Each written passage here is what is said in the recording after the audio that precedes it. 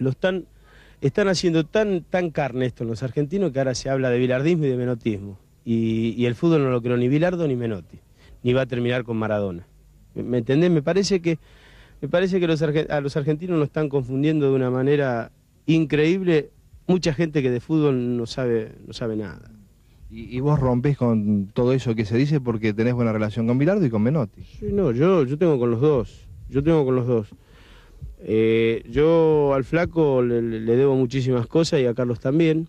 Y, pienso la pagar, pagárselas con, con, mi, con mi amistad, con, con, con mi respeto, con, con mi fútbol.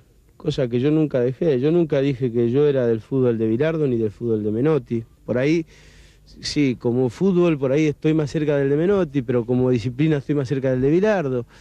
Y por ahí en algunas cosas me gusta la disciplina de Menotti y por ahí en, en táctica por ahí me gusta lo de Bilardo, adentro de la cancha. ¿Me entendés? Así que no, nadie es dueño de la verdad, cachiche. El que se crea dueño de la verdad está listo. ¿Cómo lo ves a- al flaco en Independiente? ¿Qué, qué Independiente pensás que vamos a...? Y el tema pasa por, por, por las compras que pueda hacer Independiente, ¿no?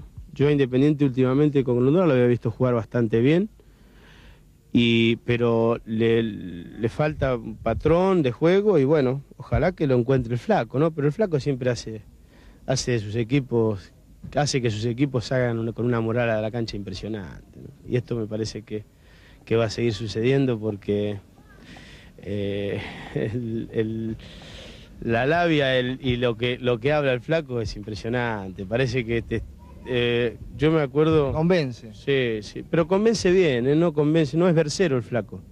Flaco, para los que dicen que es versero, yo le digo que no, y yo tu- tuve mucho tiempo con él.